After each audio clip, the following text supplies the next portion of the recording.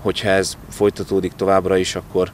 nyilván a hogyha ez, ez egy személyes ok, akkor én nem szeretném, mert eddig is úgy gondolom, hogy a szexárdi sport és a szexárdi sportolók érdekeit az volt nálam a legfontosabb, nem a személyes karrier vagy, vagy